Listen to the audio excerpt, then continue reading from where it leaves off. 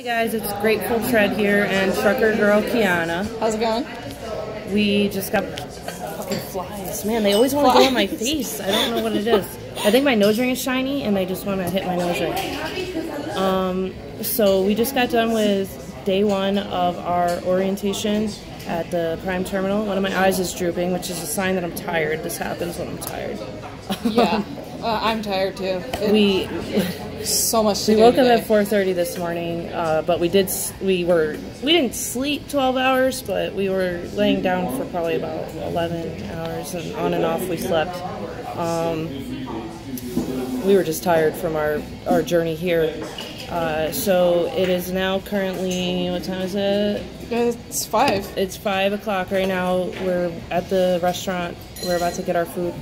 Um, did we give him our vouchers? Mm, no, I think he grabbed them. Oh, I guess he grabbed. I was going to show you our vouchers, but they're gone now. Um, so we ordered our food, and we had quite the day. We went to get out. We had our drug test this morning. Um, there's a lot of joking around. We had a lot of fun with our uh, the guy. His name is Troy. He's doing the hiring for us.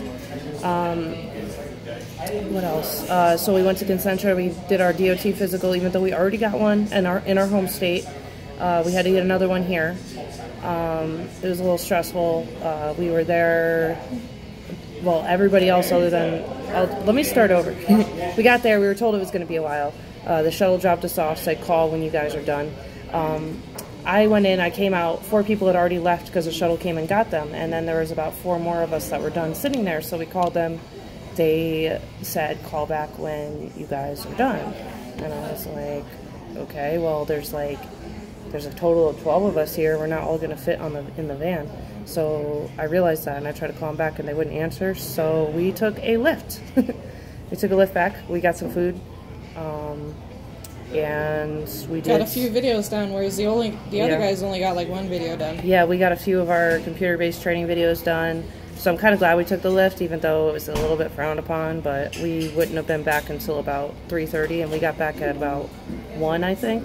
Or no, we got back at like 12:15, Yeah, and then they got back at like 3:30. So yeah, I'm kind of glad we um, we came back when we did. yeah. Because there's a lot of videos to go through. There's a lot of stuff to go through. It's it's a lot, a and lot I training. I've heard that the catering that they do at the terminal is shitty. It's really not that bad. It's not great, but it's not as bad as I, I thought it was going to be like a glorified Lunchable.